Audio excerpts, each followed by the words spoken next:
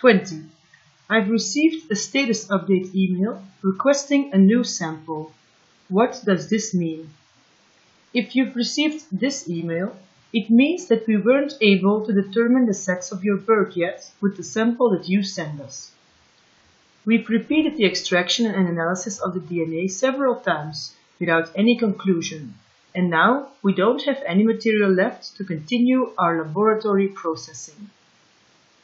We need you to send us a new sample from the bird in question.